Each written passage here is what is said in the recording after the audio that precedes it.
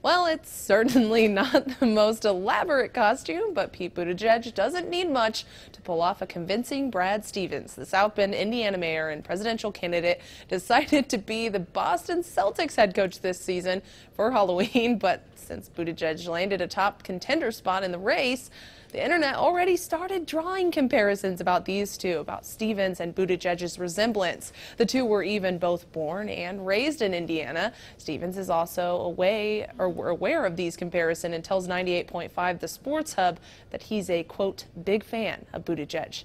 Katie Johnston for WBZ News.